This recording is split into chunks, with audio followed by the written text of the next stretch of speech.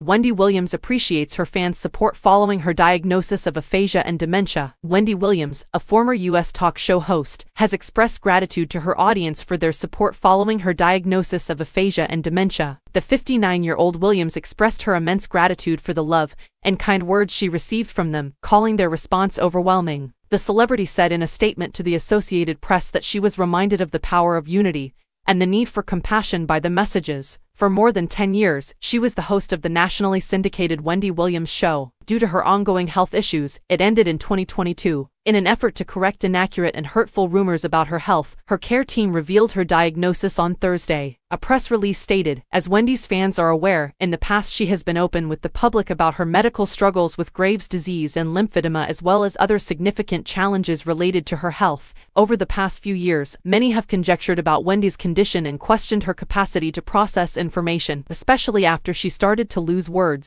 act erratically occasionally, and have trouble understanding financial transactions. The medical team stated that a battery of medical tests last year verified the diagnosis.